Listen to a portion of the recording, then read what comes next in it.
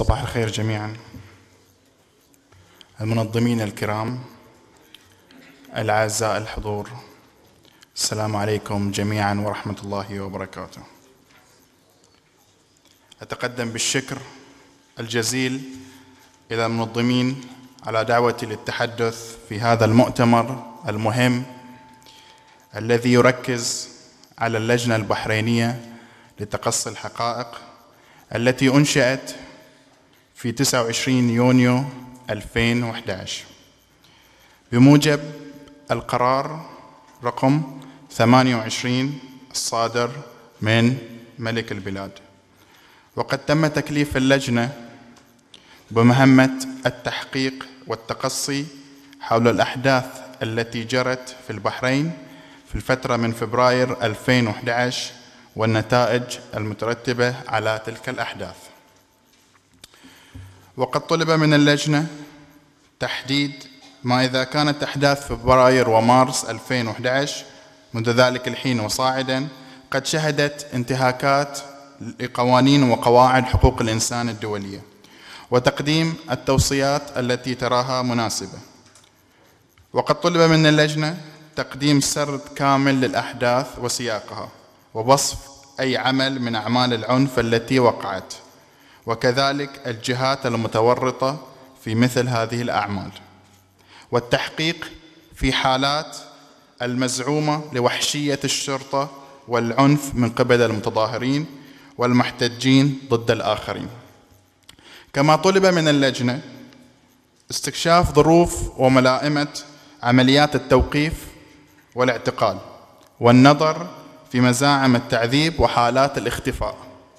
والتحقيق في مزاعم مضايقة وسائل الإعلام وأساليب الضغط الأخرى المستخدمة ضد المشاركين في المظاهرات والاحتجاجات العامة. ومناقشة الهدم الغير القانوني المزعوم للمباني الدينية ووصف تورط مزعوم للقوات والجهات الأجنبية. كلنا قد يعلم بأن يأتي قرار تشكيل اللجنة بعد أن تم موافقة على السماح لبعثة تقصي الحقائق التابعة للمفوضية السامية لحقوق الإنسان بزيارة البحرين في تلك الفترة. ولكن جاء قرار تشكيل اللجنة وإلغاء زيارة البعثة في آنذاك. الخلفية العامة عادة لجان التحقيق هي هيئات غير قضائية لتقصي الحقائق تنشأ في أعقاب نزاع ما. بغرض توفير سرد للأحداث التي وقعت خلال فترة أو فترات معينة من الاضطرابات. وعادة ما تصدر لجان التحقيق المشكلة تقريرا نهائيا لتقصي الحقائق في ختام تحقيقاتها والذي يتضمن تحديد المسؤوليات وصياغة التوصيات. تخول لجنة التحقيق عموما مجموعة من السلطات تبعا لسياقها. وهي جميعا تشترك في التزام بتقصي الحقائق ومساعدة المجتمعات على التعافي وتنفيذ تحول ناجح ديمقراطي بعد انتهاء الصراع.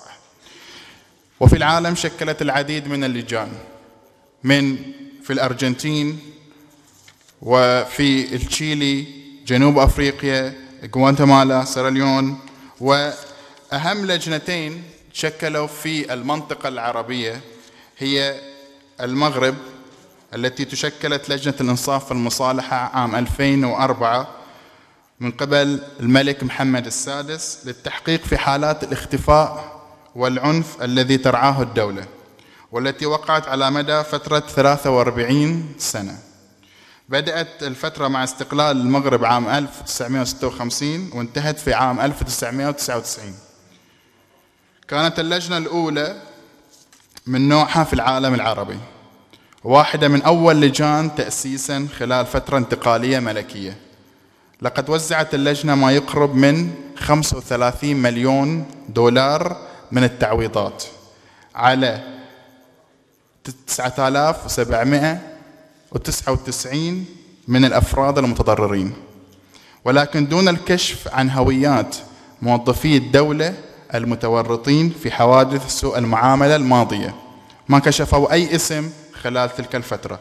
كما لم تمتلك اللجنة سلطة لإجبار الأفراد على الشهادة في أي جلسات الاستماع.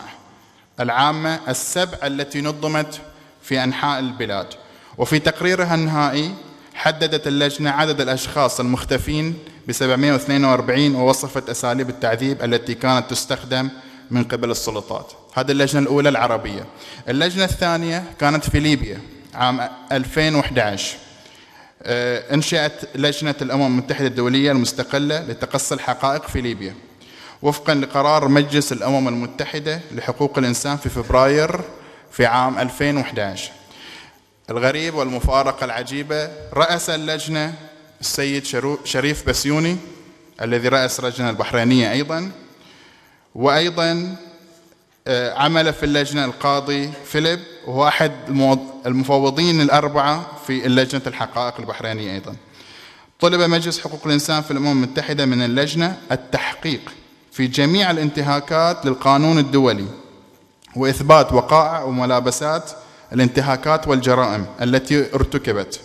كما طلب من اللجنة تحديد الأفراد والمسؤولين عن انتهاكات حقوق الإنسان في أنحاء ليبيا وكذلك الانتهاكات التي ارتكبت قبل وأثناء وبعد المظاهرات التي شهدتها عدد من المدن الليبية في فبراير 2011 أخيرا كلفت اللجنة بتقديم توصيات لضمان محاسبة الأفراد والمسؤولين وقدمت اللجنة نتائج واقعية وعرضت توصياتها على الحكومة والمجلس الانتقالي في ليبيا.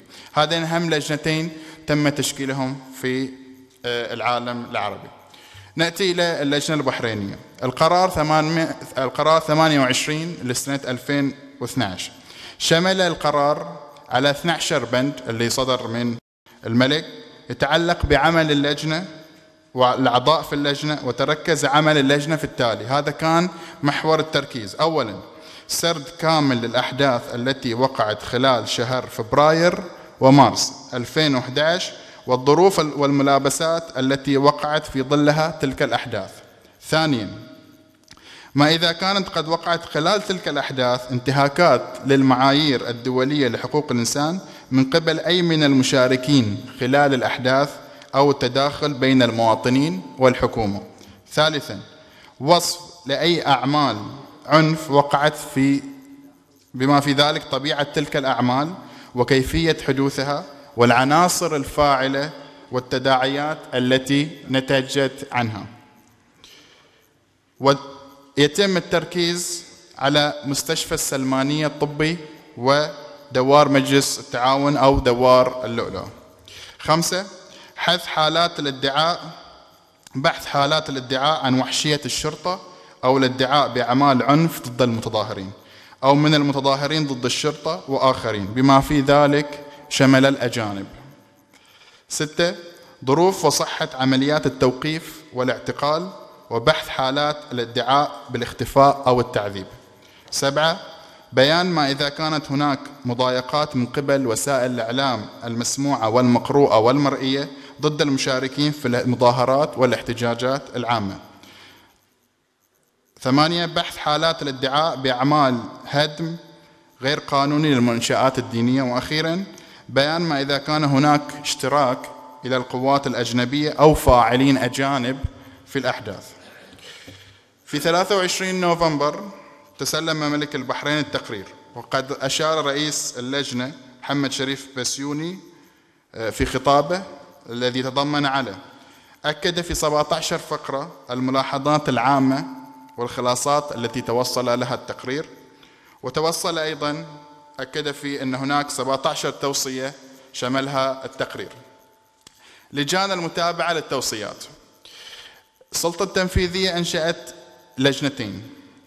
في 26 نوفمبر 2011 قرار رقم 45 لسنة 2011 بإنشاء اللجنة الوطنية المعنية بتو... المعنية بتوصيات تقرير اللجنة البحرينية لتقصي الحقائق. هذه آه، أنشئت في 26 نوفمبر. وفي وقرار رقم 48 الذي كان يتعلق بتشكيل اللجنة وتكون عدد أعضائها من 19 شخص يرأسهم علي صالح الصالح. وقرار 9 لسنة 2012 مدد عمل اللجنة إلى تاريخ 20 مارس. اللجنة الأخرى كان في 28 مايو 2012 وهذه أنشئت بقرار وزير العدل وهو سميت بلجنة متابعة تنفيذ توصيات اللجنة البحرينية المستقلة. وصدر على اللجنة التقرير الأولي كان في 21 نوفمبر 2012 تنفيذ التوصيات. في التقرير اللي صدر في 21 نوفمبر أكدت اللجنة بأنها قامت بتنفيذ معظم التوصيات في النقاط التالية. أولا المساءلة ومعاقبة مرتكبي الانتهاكات. ثانيا تحدثت عن مبادرة التسوية المدنية مع المتضررين. ثالثا تحدثت حول إعادة المفصولين عن العمل. وأيضا في النقطة الرابعة جهود المصالحة الوطنية. خمسة تحدثت ووضعت جدول حول إعادة بناء دور العبادة. سادسا تحدثت عن إصلاح الأجهزة الأمنية. سابعا تحدثت عن إصلاح السلطة القضائية. وثامنا تحدثت عن إصلاح القطاع التعليمي. وتاسعا الإعلام وعاشرا التعديلات التشريعية فهذه كانت هي الخلفية العامة إلى تشكيل اللجنة الوطن اللجنة البحرينية لتقصي الحقائق وما نتج عنها لاحقا من لجان متابعة آه، أكدت بأن هي هذه اللجان آه، تم تنفيذ فيها كل التوصيات. شكرا جزيلا والسلام عليكم.